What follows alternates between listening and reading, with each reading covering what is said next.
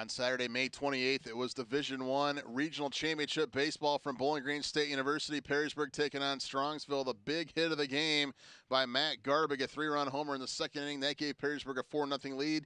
They would continue to tack on runs as the game went on. Perrysburg wins it going away 9-2. They will play in Columbus next Thursday morning.